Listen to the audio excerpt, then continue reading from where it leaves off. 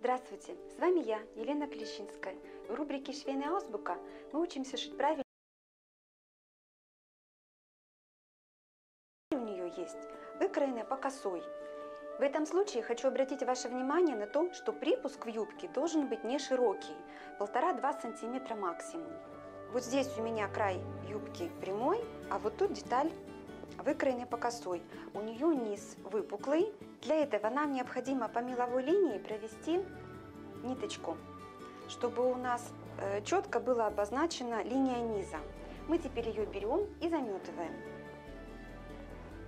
Вот таким образом. Заметывание стараемся производить очень четко, перегибая точно по нитке. У нас образуются небольшие сборочки, но они потом при подшивании и при утюжке все уйдут. Вот именно поэтому у нас припуск должен быть маленький. Если припуск будет большой, со сборками мы с вами ничего не сможем сделать. Теперь берем нитку в цвет ткани и начинаем подшивать иголку с ниткой вводим в припуск на юбке. Зацепляем припуск низа насквозь. Здесь может быть маленькая ниточка видна. Когда мы переходим к основной ткани на юбке, вот здесь мы зацепляем буквально одну-две ниточки, потому что ткань тоненькая.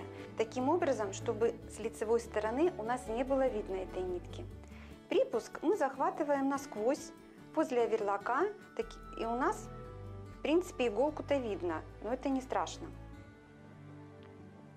Вот здесь опять захватываем одну-две ниточки, тут опять ничего у нас не видно. И таким образом подшиваем всю юбку. Подшиваем довольно часто, чтобы у нас в сантиметре ну, где-то было 2-3 стежка, чтобы юбка у нас не распоролась, когда мы нечаянно можем задеть ее каблуком или зацепиться обо что-нибудь. При подшивании аккуратно распределяем вот эти складочки, чтобы у нас не было вот такого наложения, чтобы такого не было.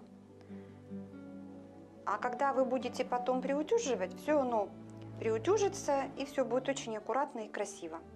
Вот таким образом у нас подшивается вся юбка. Нам останется потом лишь приутюжить, убрать наметку, юбка готова. Сегодня вы узнали о том, как можно подшить изделие, когда нить юбки у нас выкроен по косой.